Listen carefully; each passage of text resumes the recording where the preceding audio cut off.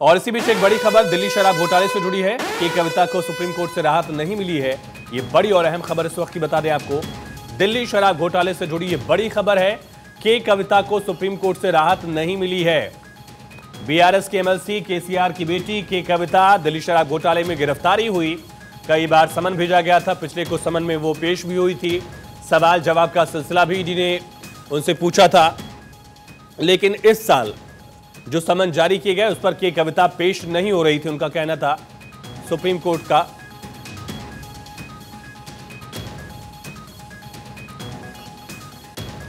तो के कविता ये तर्क दे रही थी कि सुप्रीम कोर्ट से निर्देश है उनको, अब, लेकिन उनको गिरफ़्तार किया गया और हैदराबाद से सीधे दिल्ली लेकर आया गया। और अब उनकी मुश्किलें बढ़ गई हैं। दिल्ली शराब घोटाले से जुड़ी बड़ी खबर है।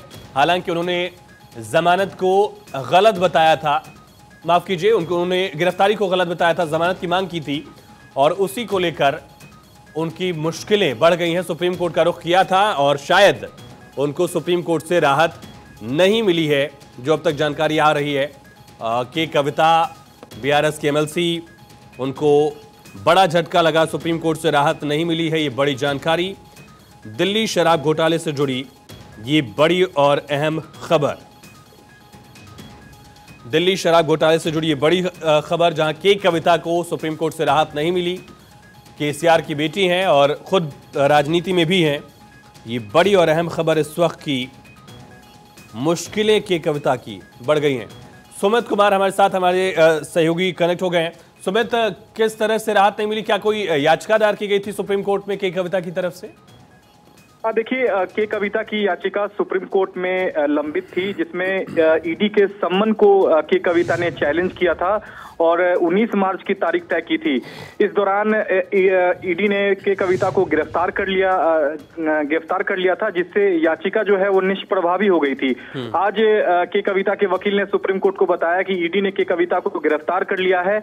ऐसे में जो सम्मन के खिलाफ जो याचिका है उस पर सुनवाई का अब कोई मतलब नहीं रह जाता है क्योंकि याचिका इनफॉक्चुअस यानी कि निष्प्रभावी हो गई है जिसके बाद के कविता के वकील ने याचिका वापस जो है वो सुप्रीम कोर्ट से ले ली है क्योंकि सम्मन को यहाँ चुनौती दी गई थी। हम्म। चूँकि अब के कविता गिरफ़्तार हो चुकी हैं तो ऐसे में इस याचिका का कोई मतलब नहीं रह जाता है। इस लिहाज से के कविता के वकील ने याचिका सुप्रीम कोर्ट से अपनी वापस ले ली है। अब अब के कविता के वकील का कहना है कि गिरफ्तारी को उन्होंने सुप्रीम कोर्ट में चैलेंज किया है उस पर सुप्रीम कोर्ट इस पूरे मामले को लेकर सुनवाई करे क्योंकि यहाँ गिरफ्तारी को की कविता अवैध बता रही हैं। आ, क्या कोई जमानत को लेकर भी प्रयास किया जा रहा है? सुप्रीम कोर्ट में याचिका इस तरह की कोई जानकारी अभी तक सुमित?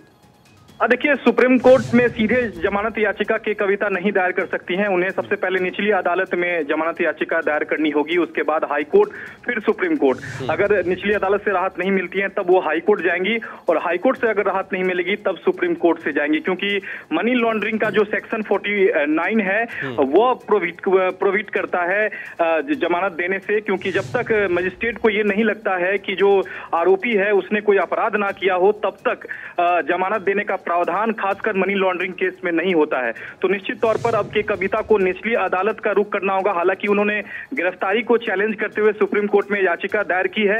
उस पर भी सुप्रीम कोर्ट में सुनवाई होनी है। लेकिन जो सम्मन को जो उन्होंने चैलेंज किया था, उस याचिका को के कविता ने वापस ले लिया है सुप्रीम कोर्ट आसान भाषा में तीनों पहलू समझाने के लिए बहुत शुक्रिया सुमित। देखिए, तीन बातें हैं। समन को चैलेंज किया गया था, लेकिन उनकी गिरफ्तारी हो गई, इसलिए समन का मामला जो है निष्प्रभावी हो गया।